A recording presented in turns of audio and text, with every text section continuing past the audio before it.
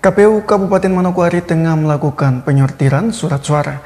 Hingga saat ini proses penyortiran telah mencapai 90 persen.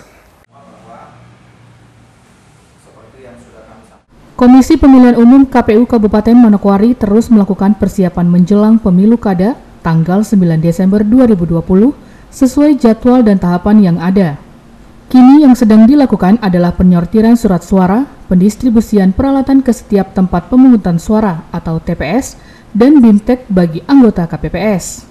Hal tersebut seperti yang diungkapkan Komisioner KPU Kabupaten Manokwari Divisi Teknis, Aplena Rumakeu, yang ditemui awak media di sekretariatnya.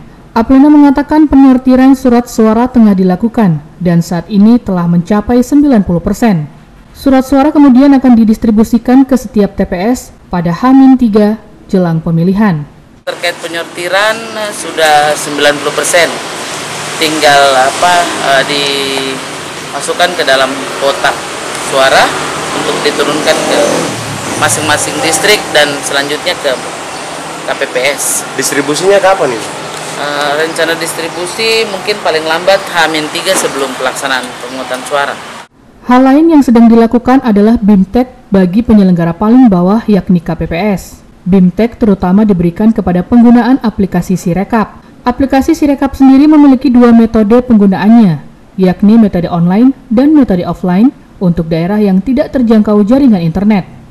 Karena aplikasi Sirekap itu ada dua ada dua pilihan, pertama secara offline dan secara online. Sehingga bagi yang tidak ada jaringan internet bisa menggunakan aplikasi Sirekap offline.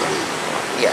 Lalu kemudian prosesnya itu sudah kami sampaikan kepada penyelenggara kami sehingga kami harapkan itu bisa dimaksimalkan oleh KPPS nanti pada tanggal 9 Desember. Proses penyortiran surat suara ini dilakukan guna memastikan surat suara itu dalam keadaan baik dan tidak rusak. Karena berdasarkan informasi, dalam proses penyortiran itu, KPU menemukan adanya surat suara yang rusak. Simon Patiran mengabarkan.